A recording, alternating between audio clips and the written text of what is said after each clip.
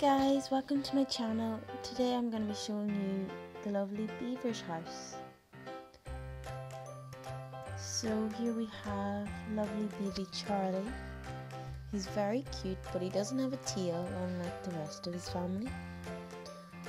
And this is Callie. And I cut off her tail and had to stick it back together.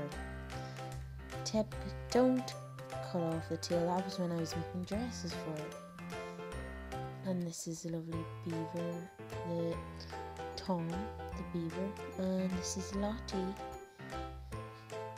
the mother beaver. So let's have a look inside.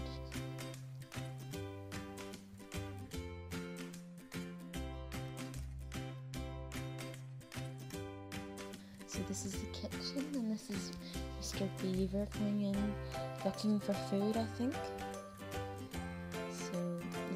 There's no pictures in this one, but I love this kitchen because it's very colourful and bright.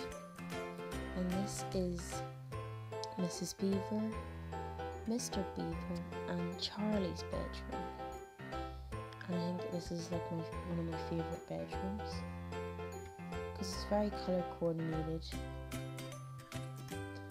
And last is Callie's lovely pink, yellow, blue, red, green colored room and I just really like it, it's very cool. I love that I added pink floor to it, pink sparkly floor. So this is Beaver's house